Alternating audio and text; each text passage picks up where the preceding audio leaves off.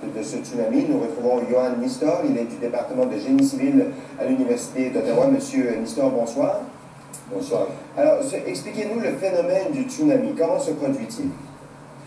Bon, le phénomène du tsunami est toujours généré par un très grand euh, tremblement de terre.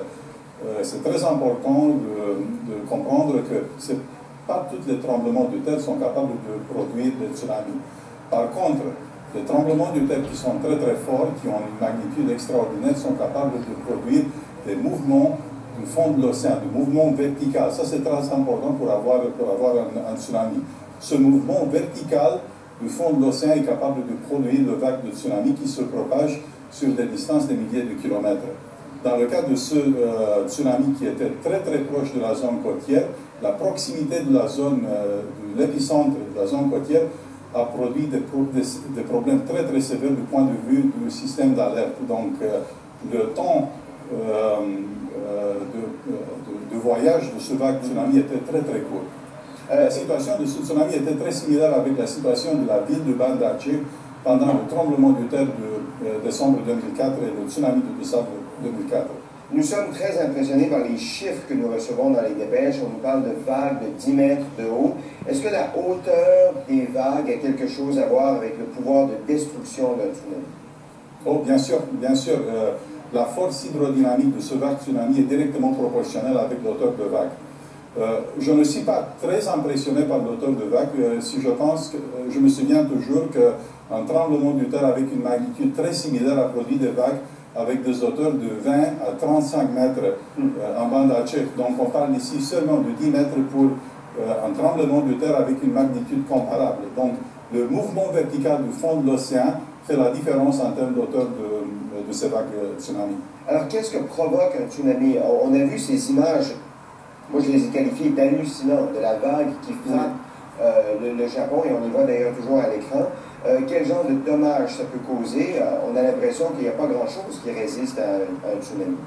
Oui, euh, il faut comprendre que les caractéristiques du tsunami sont très différentes entre le cas d'un tsunami en océan, en plein océan, dans une profondeur d'eau avec quelques milliers de mètres, et c'est très différent dans la proximité de la zone littorale. dans la proximité de la zone littorale, l'auteur de vague tsunami est beaucoup plus importante en même temps, la vitesse, sa vitesse de déplacement est un peu plus faible. Et quand je dis plus faible, quand vous avez déjà regardé les images, on parle des vitesses de 30 à 70 km à l'heure. Donc imaginez-vous pour une vague avec une hauteur, disons, de 10 mètres à 70 km à l'heure, la force hydrodynamique qui est proportionnelle avec le carré de la vitesse, la force hydrodynamique est énorme. Des fois, la force hydrodynamique, on a fait des calculs euh, pendant les dernières années, la force hydrodynamique est plus important des fois que la force d'un séisme, d'un tremblement de terre très, très important.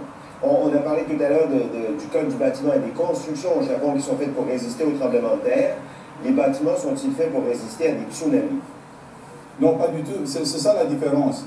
Les codes, par exemple, des bâtiments sont très clairs dans le cadre de, des règles de construction et de, euh, design euh, contre le tremblement de terre. Par contre, il n'y a pas de règles, il n'y a pas de règlement pour euh, concevoir des bâtiments qui sont capables de résister à l'action des vagues de tsunami. Donc euh, maintenant, par exemple, notre groupe de recherche, c'est ça ce qu'on fait depuis euh, cinq ans maintenant à l'Université d'Ottawa.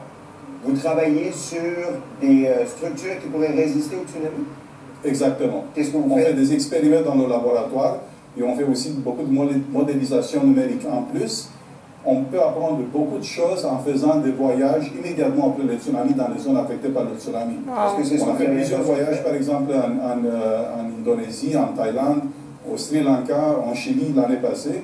Et on planifiait de faire euh, un voyage euh, probablement la semaine prochaine avec un groupe de l'Université d'Ottawa pour faire une sorte d'évaluation de la situation de dommages produits par, par le tsunami et donc euh, faire l'analyse de ce qui s'est passé. Une dernière question, euh, monsieur, euh, si vous me permettez. On a tous été à la plage et on a tous subi le choc des vagues à la plage, mais on a tous également subi le ressac des, des vagues. Lorsque la vague se retire de la plage, est-ce que dans le cas d'un tsunami, le ressac peut aussi causer des dégâts? Non, le ressac ne cause pas de dégâts.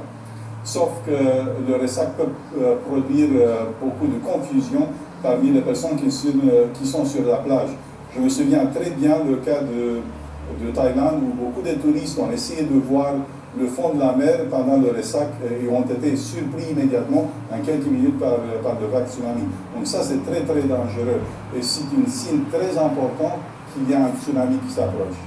Très bien. Eh je vous remercie beaucoup d'avoir pris le temps de parler ce soir. Bonne fin de semaine. Merci beaucoup. Bonne fin de semaine. Mario, pour, euh, quand, quand